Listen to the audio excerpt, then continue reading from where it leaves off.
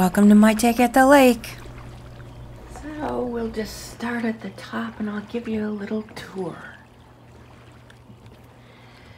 I had so many different ideas going into this. Um, I thought at first I would do 12 of everything. And the first thing I did was make 13 journals. Whoops. You know, English major, can't count. and then I was going to do sort of like the 12 days of Christmas. I'd do 12, 13 mini journals and 12 bookmarks and 11 postcards, blah, blah, blah. But every time I did a segment of it, that idea changed. And by the end of it, because I gave myself about, I want to say three weeks, maybe three and a half weeks to do this, um, it ended up just doing as many as I could get done of each thing for that day. uh, just, just so that I wouldn't have a naked tree to show you uh, at the end of this junk journal themed Christmas tree challenge. The good news is I did it. The good news is I had a lot of fun. The bad news is I have trashed every corner of my working space, kitchen, studio. Holy smokes, have I made a mess. But it was fun. It was fun. And I can't wait to show you some of the aftermath, some of the things that I'm, um, I'm doing after this or as a result of this with my scraps and such. So stay tuned. There's some aftermath videos. So let's just quick tour. Uh, you saw the, uh, hopefully you saw it. If not, I'll, I'll post a link below. I gave a quick tour of each little book. Um, each has a little personality of their own. They're all different. They all have been punched, stamped, decorated, laced, whatever. Um, they're all unique in their own little way. Uh, I didn't do a full flip through of all, but you get the point of it. So there's 13 mini mini journals. They all have either one or two signatures.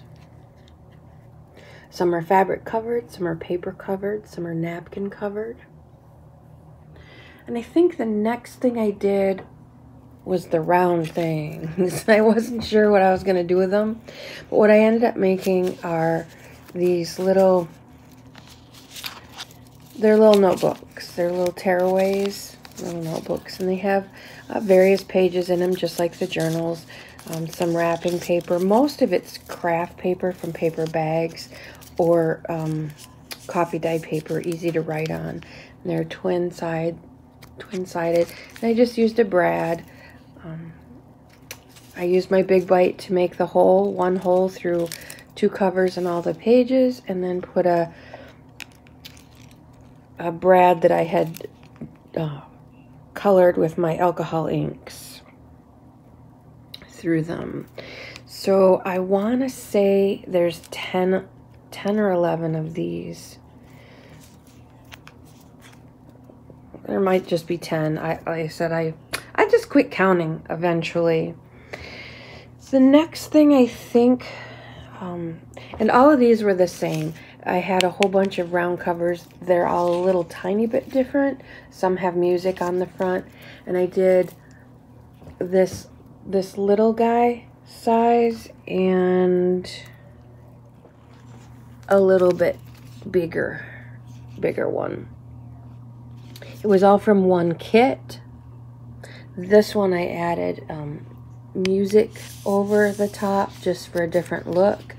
So if they spin, they're fine. And they kind of look like bulbs. I thought that that was one of the reasons I wanted to do round things because you got to have bulbs.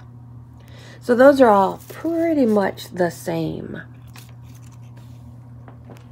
I think I missed tags. Tags came, oh, I took it off.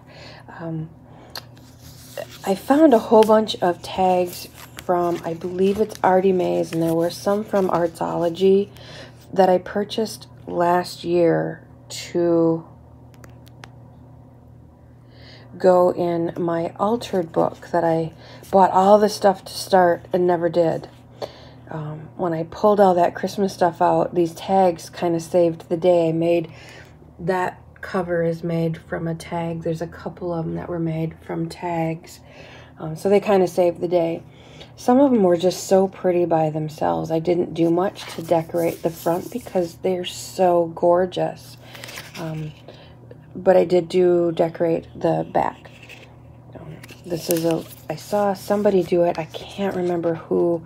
If I can find the video, I'll, I'll link it. But she just threw on some thread bits before she glued her pieces down and it looked so cool. I tried it and I really liked how it turned out. Little flags from one of the kits. I was surprised to see how many Christmas kits I purchased. I had no idea that I had purchased that many. Um, but they sure saved the day in this project that I gave myself absolutely no time to do. I had hoped to do a whole bunch of these little guys. This is just a piece of light cardboard, a tag with a tearaway notebooks with scraps on the back. Um, but I didn't uh, save myself enough time. I didn't, I did not do, so this is a one of a kind. That's why he's kind of hidden away. So, bookmarks, again, they were so beautiful, so well done and layered. Uh, I don't think I did anything to this one. It, it's as is, even the postage stamp. Um, the postmark stamp. Uh, I didn't do anything. The back is a napkin.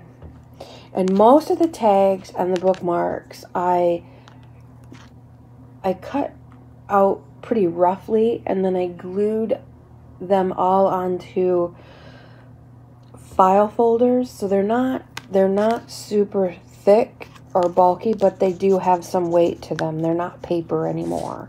So there's two layers of paper or paper and a napkin on file folders. So super thin if you wanted to put them in a book, you know, tuck, tuck them in a journal. They're not going to take up much room. Same thing with the tags. Almost everything that's dimensional here is glued onto a file folder before it was put on. So just to show you some more of the tags so beautiful. I don't know if it's my camera that's not focusing or my eyes. Um, this one does have uh, some stackables from Artie Mae's Stackables and some pieces of material and craft paper. And I think this tag, so that's from Stackables. I believe this is a an Artie Mae's tag. This tag here label, whatever, is um, from My Porch Prints. This is a piece of material right here. And some Silent Night music pages on the back. Another bookmark, so beautiful. My Porch Prints pine cone and my tree stamp with stars.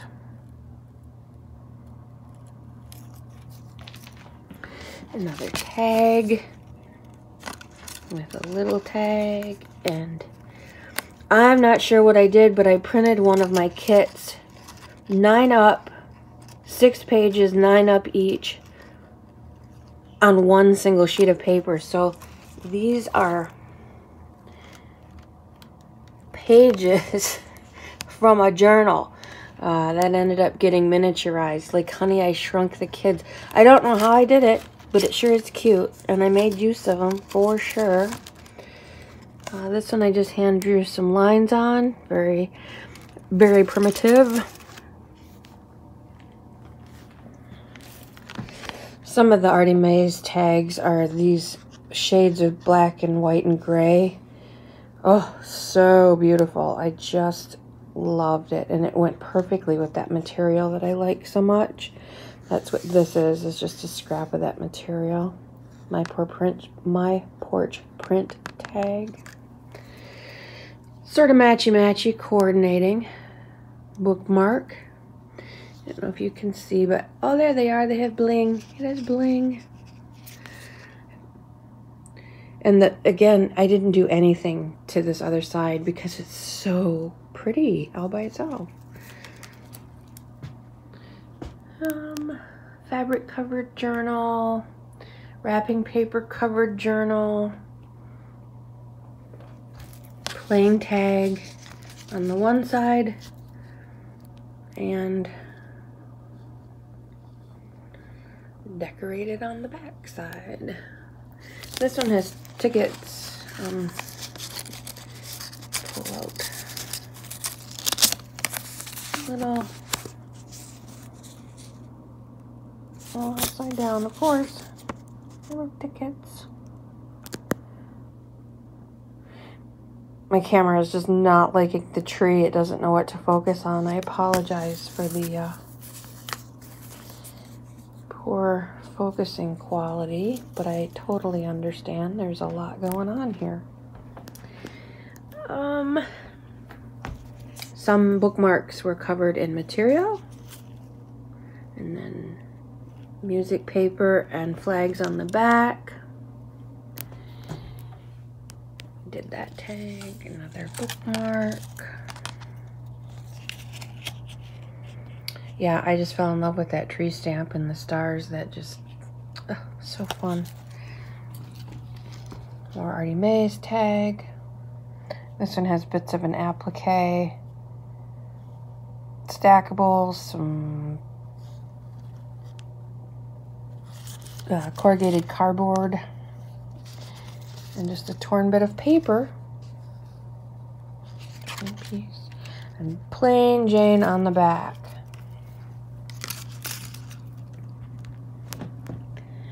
And the other thing that I ended up doing um, was just some random bits.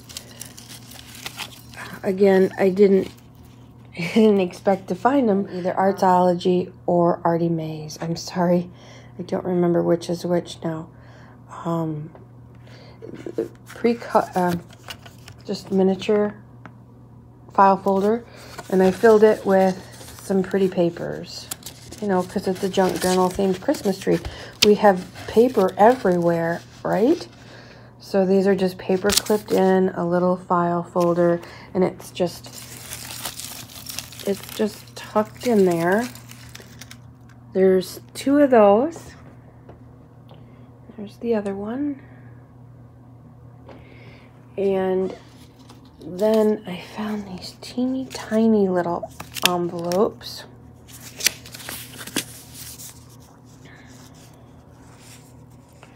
I don't know if you can see. Oh, this one doesn't have it.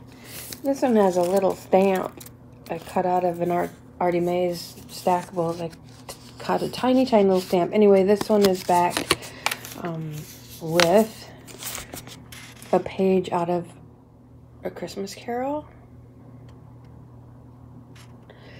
That's stamped and just folded. I do believe that that is all she wrote. This was such a fun project. I really wish I'd have given myself more time than I did. But I learned a lot. I have a truckload of scraps to play with. Some really cool ideas for um, my altered book, which I will get to. I will. I am going to do my beautiful vintage altered book for Christmas one of these years. Last year didn't work out. This year, well, time's up. Game over. This was really fun. If you've been watching along, thank you so much. Thank you so much for indulging this behavior. Uh, it's it's certainly a trip. I wish you all a Merry Christmas if you're celebrating that particular holiday. If you're just taking the week off to chill, good for you. Enjoy that too. Whatever it is you're doing, enjoy the bejesus out of it. I'm going to leave you with a few pictures and head off to sit by the light of and enjoy my tree for a bit. Might take it the lake. Out for now.